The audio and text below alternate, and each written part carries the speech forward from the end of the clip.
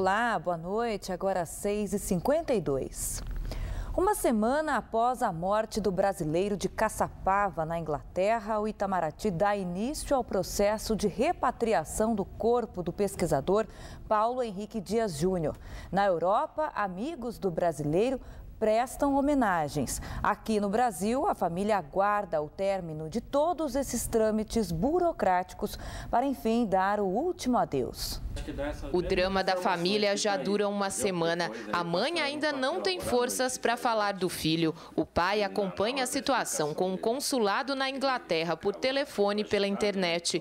Nesta quarta-feira foi feita a autópsia no corpo de Paulo Henrique, mas o resultado das investigações pode levar até um ano. Eu recebi um comunicado da, do, do consulado na, na Inglaterra informando sobre todos os procedimentos e a parte, inclusive a parte investigativa que, será, que está ocorrendo em paralelo com a liberação do corpo, a parte policial no caso. Já começou o processo de, de repatriação do corpo, a parte de documentação, e assim que foi feita toda essa, essa tramitação, será liberado o corpo para vir para o Brasil. A TV Band Vale mostrou o caso em primeira mão. Paulo Henrique Dias Júnior tinha 34 anos. Ele estava na cidade britânica de Colchester desde janeiro. O brasileiro fazia doutorado na Universidade Federal do Rio Grande do Sul e ganhou uma bolsa para estudar no exterior. O corpo de Paulo foi encontrado na quinta-feira, dia 15 de maio, mas não foi divulgada a causa da morte. O que a família mais quer neste momento é realizar o enterro aqui em Caçapava. Eu fiquei muito feliz pela parte de, de um estudante universitário, que é um padre jesuíta de origem portuguesa. Ele está organizando na cidade, em todos os campos universitários, é, um memorial é, em nome do meu filho. E está orando, o pessoal está celebrando missas e eu fico contente com isso, porque o meu filho era muito católico. Eu creio que a maior homenagem que, que eu vou é, fazer para o meu filho é, é, a vinda dele para o Brasil, que ele é um brasileiro nascido aqui em Caçapava, filho de Caçapava, e vai ser enterrado no mausoléu da família aqui em Caçapava. Então esse ele será para mim é, é o meu herói, continuar sendo o meu herói para mim. O menor de idade foi apreendido hoje como um dos suspeitos de participação na morte do empresário do ramo de hortifruti em São José dos Campos. O crime foi em março deste ano. Outras duas pessoas estão sendo procuradas pela polícia. Benjamin de Oliveira, de 49 anos, foi assassinado no dia 20 de março. Os bandidos teriam entrado pela janela da sacada da residência onde a vítima morava na zona leste e atirado.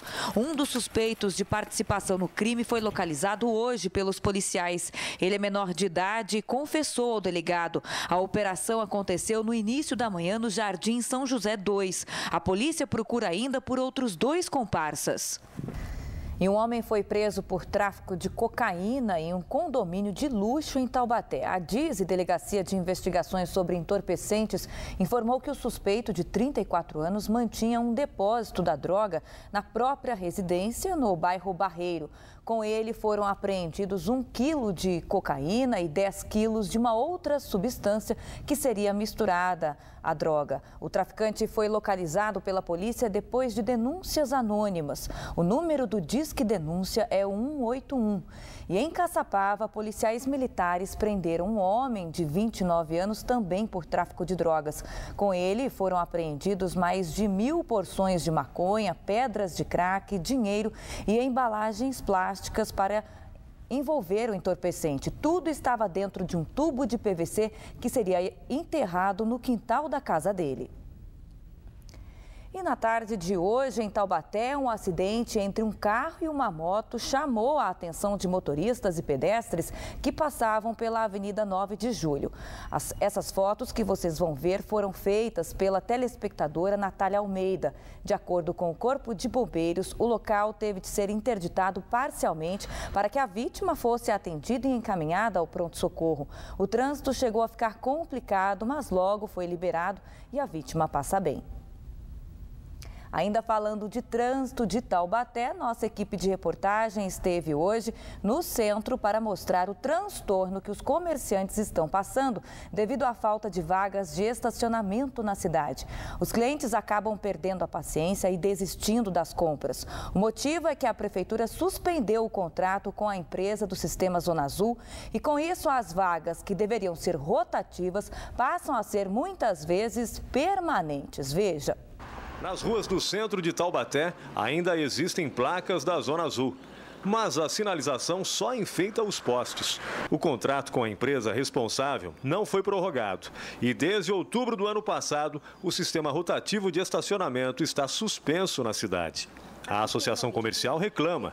Segundo a presidente, a liberação das vagas tem prejudicado o setor. Quando nós tínhamos a Zona Azul, é, paradas rápidas no comércio facilitavam as compras rápidas. Quando você tem que parar, se é, ver uma localização para parar, então vou ter que parar no estacionamento que é perto da loja que eu vou. Chega no estacionamento, ele está lotado. Aí você faz outra volta e vai em outro lugar que possa ter uma vaga para você. Dificulta o tempo. Então, para você vir para a cidade, você já pensa mais, você já tem tem que fazer uma estratégia maior, já tem que vir com uma paciência maior.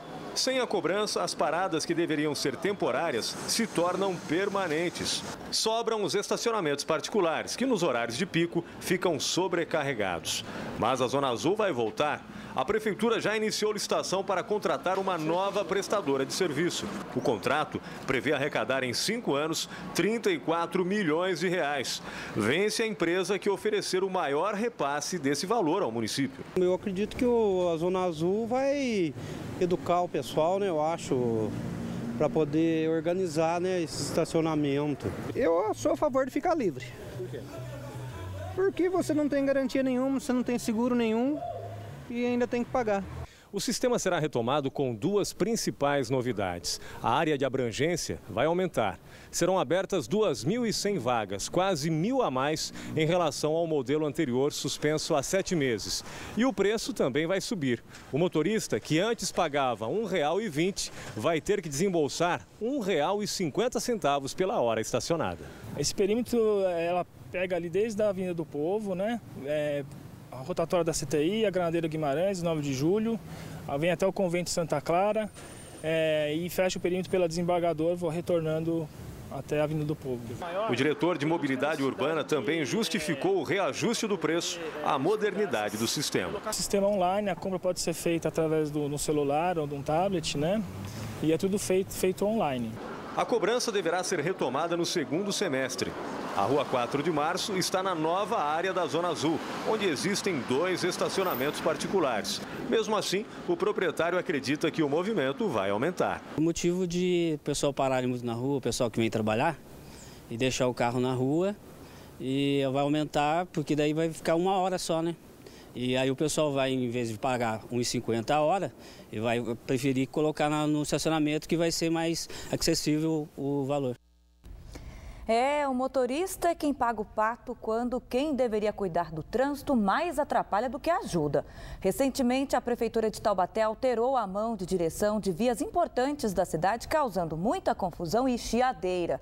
E a Zona Azul está mesmo é com um sinal vermelho. Há sete meses, as vagas no centro viraram terra de ninguém. O Band Cidade faz um breve intervalo e, na volta, policiais militares salvam um bebê que estava engasgado e não conseguia respirar. A ocorrência foi em Caçapava e chama a atenção para este tipo de acidente, que, segundo o Ministério da Saúde, é a primeira causa de morte entre crianças até um ano de idade.